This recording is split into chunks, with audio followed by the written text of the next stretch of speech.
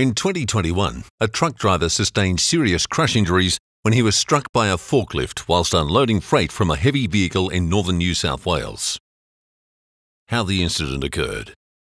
At 8:15 a.m., a heavy rigid truck arrived at the rear loading bay of a freight company. The driver parked the truck to the right-hand side of the loading area, forward facing as to unload the vehicle. The truck driver alighted from the vehicle, lifting the back roller door of the truck and positioned himself in the back tray of the truck to assist in the unloading of several pallets of kegs. The area was clear with good visibility. However, no loading or exclusion zone was set up around the vehicle and no pedestrian walkways identified.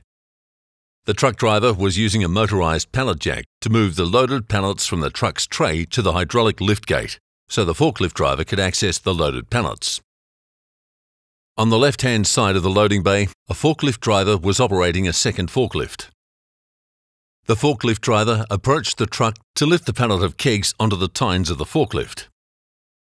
As the forklift driver lowered the pallet, one of the kegs became unsecured and rolled across the loading bay.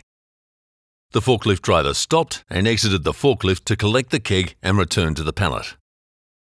At this time, the truck driver positioned a second pallet of kegs for the forklift driver to unload.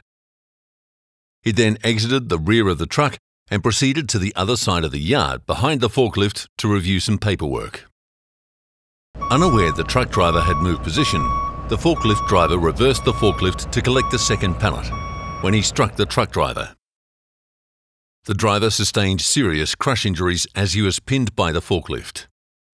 All workers on site at the time of the incident were employed by the company, and all forklift drivers were appropriately licensed.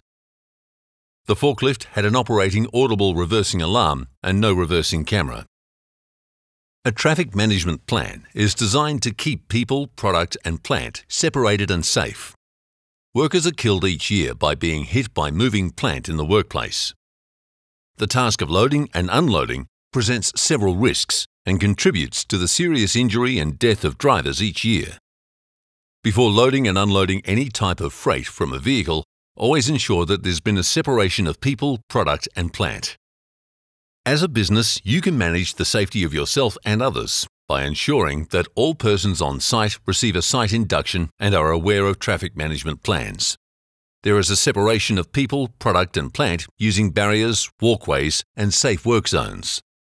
Operators of plant and vehicles on site are instructed to maintain speed limits. Vehicles are parked on a hard level surface and are properly immobilised. The vehicle is positioned in a loading, unloading zone or an exclusion zone established around the vehicle. An effective system of communication and visual contact is in place during any loading, unloading or movement of plant. Freight is loaded and unloaded as per an agreed load plan. All persons wear high visibility clothing and correct PPE for the site.